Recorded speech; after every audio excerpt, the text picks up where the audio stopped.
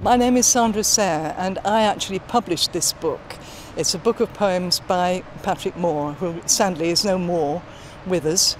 And um, I, I, just thought last summer it would be nice to enter for the People's Book Prize. They were hidden away for about 32 years in a drawer. And one day I went to have lunch with Patrick at Selsey.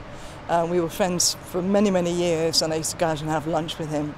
Uh, he said before I left, he said, take these away and look at them, see what you think.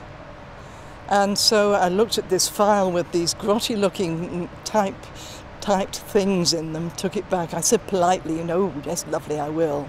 Put it away. Um, went back home to Arundel, put them in my study, and then on a rainy day got them out, thought I better look at them. So, uh, treasures. Treasures, little poems rather like um, Edward Lear nonsense poems. And um, I just, I, I rang him up and I said, Patrick, you have to publish these. No, no, no, no, he said, I'm writing another book. So uh, he was 88 at the time. I said, well, right, then I'm going to publish them. Good idea. So I commissioned cartoons, beautiful cartoons to go with the poems, and that's the story how they, of how they came to be published.